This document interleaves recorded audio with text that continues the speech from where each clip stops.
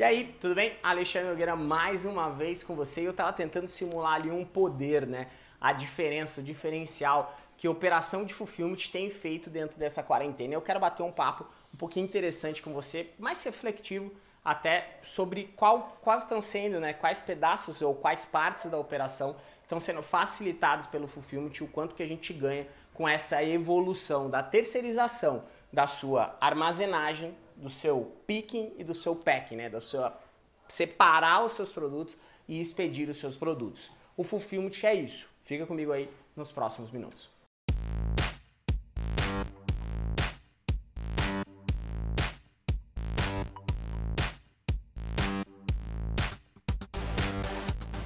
Eu vinha falando que o full é isso, né? Você terceiriza a sua armazenagem de produto, terceiriza a separação do seu produto e terceiriza a postagem do seu produto. Os produtos são seus, você pega o seu estoque, leva e aloca dentro de uma empresa terceirizada ou dentro dos marketplaces. Alguns marketplaces possuem os seus galpões também. Então hoje a gente tem três modelos de fulfillment que eu acho dentro. Vamos falar em quatro modelos de fulfillment dentro do Brasil, na verdade, dentro dessa parte de e-commerce, tirando grandes né, empresas que acabam tendo muitas vezes o marketplace flexibilizando e fazendo a operação de algumas grandes empresas, mas são casos mais diferentes.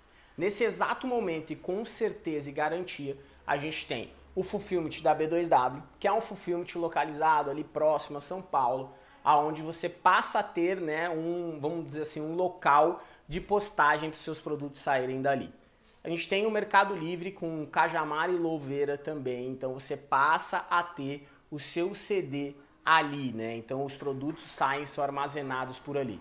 Você tem fulfillments privados espalhados pelo Brasil, como por exemplo em São Caetano a gente tem a Soulog aí, um fulfillment que eu particularmente faz parte do nosso negócio, que é o full da Soulog, do Jeff da AD, que são terceirizados. Você paga, né, para ter o espaço e para poder utilizar. É uma empresa privada que faz também o serviço de fulfillment. Quais as vantagens do fulfillment e que o fulfillment tem tido nesse momento? Primeiro de tudo, você precisa ter a sua operação inteira dentro do fulfillment?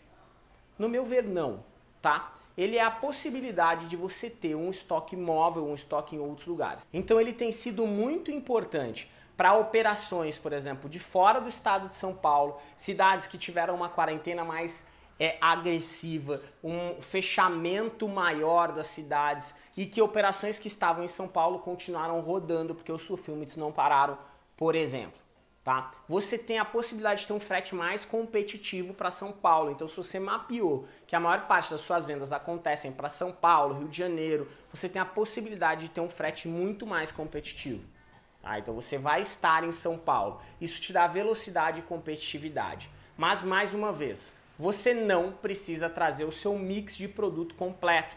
Tá? Você pode trabalhar com curva A, você pode fazer um estudo dos seus produtos a serem utilizados para você não demandar uma transferência muito grande de estoque. Você pode fazer um plano melhor, menor para validar essa ideia e ver se o impacto real na sua operação vai compensar você fazer essa mudança. Que eu posso te garantir é que a maior parte das operações que a gente tem convívio, que nós mentoramos ou são alunos nossos, e a gente conhece de perto, tá? O efeito para quem está fora do estado é muito positivo. Agora, para quem já está em São Paulo, eu já estou em São Paulo, existe uma diferença de custo. Então, terceirizar 100% da sua operação logística pode fazer sentido, é uma questão de fazer conta, quanto você gasta por pedido hoje e o quanto você vai gastar de pedido terceirizando esse fulfillment. Então, o pessoal lá da sua log, por exemplo, o Jeff e de fazem conta frequentemente para mostrar se vai compensar ou se não vai compensar. É um jogo matemático, porque você já está bem localizado, tá? Agora, você participar de fulfillments em marketplace, como por exemplo a B2W, está com isenção até dezembro. O Mercado Livre não cobra para expedir os seus produtos, não é? Não cobra para armazenar os seus produtos.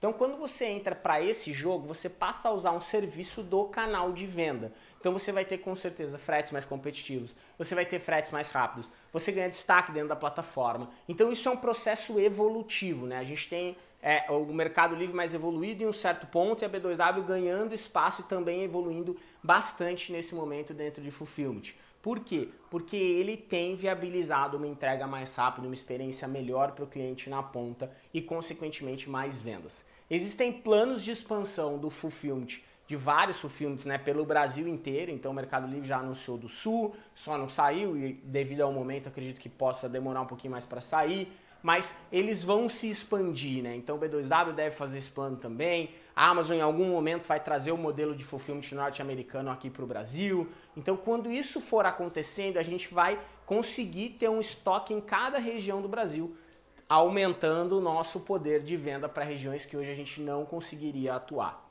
Tá? Então, o fulfillment dentro de uma operação, seja ele privado, seja ele do marketplace, deve ser levado em consideração. Tá? Importante é que você conheça muito bem quais produtos que você vai mandar para o fulfillment. Tá? Não é simplesmente qualquer coisa que você vai pôr em São Paulo que vai vender. Não é qualquer coisa que você vai colocar dentro do fulfillment da B2W ou dentro do fulfillment do Mercado Livre que vai vender efetivamente, tá? Você tem que fazer uma escolha sábia, aprender a triar os seus produtos, tá? Aprender a realmente, eu digo que você tem que evoluir, até mesmo quando você olha para um fulfillment privado, porque você vai pagar o espaço. Então não adianta você Normalmente, quando está na nossa empresa, você faz um puxadinho, joga um telhado e bota mais produto lá dentro. Ali você começa a ter uma gestão do que realmente te traz rentabilidade, do que realmente te traz venda, do que realmente faz sentido, do que faz parte do teu 80-20 para você vender mais, tá bom? Então eu queria compartilhar isso com você, é um pouquinho do nosso dia a dia, é um pouquinho do meu dia a dia com operação praticamente 100% terceirizada. É um pouquinho do meu dia a dia, junto com todas as 42 empresas que a gente atende de mentoria, e é um pouquinho do nosso dia a dia com todos os nossos alunos, porque o Fulfillment é uma realidade. Tá bom? Vou deixar aqui embaixo para você o link do Fulfillment da B2W, o link do Fulfillment do Mercado Livre e vou deixar aqui embaixo o link do Fulfillment da Soulog para você entrar em contato, saber mais, poder entender e poder bater um papo com o pessoal. Então um grande abraço para você. Vamos para cima, Fulfillment é uma realidade hoje dentro da operação. E se você quiser a nossa ajuda para, junto com você, entender se é necessário ter o Fulfillment na sua operação, o que você deveria fazer, construir esse plano junto com você, aqui embaixo também tem o link da nossa mentoria. É o que a gente faz, é planejar junto com você o seu negócio e o futuro do seu negócio. Vamos para cima, um grande abraço e valeu!